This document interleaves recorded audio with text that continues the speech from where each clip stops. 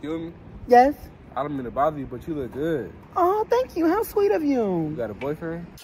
Time out, ref. Time out. Time out. Time out, Blue. Come here, son. Come here. Come here.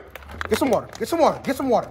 What the hell is wrong with you? Look, look, look. Whenever you see a pretty girl and you approach her and you compliment her and she replies positively, any sane individual will respond with, Can I have your number? But no, you went the other route and asked her if she has a boyfriend. You're never supposed to ask a girl if she has a boyfriend.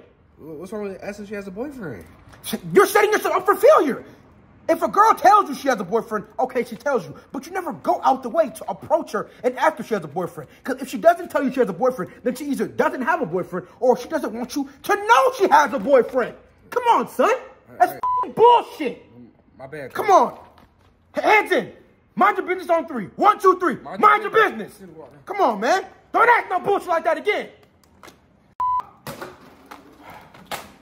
Hey, I'm back. Can I get your number? Oh, yeah, of course. What were you asking me earlier, though? Nothing. Absolutely nothing. Oh, okay. Thought I heard something. Here you go. Good, son, good. Now call the number to see if it's fake. Call it to see if it's fake. Hurry up. Dial that shit.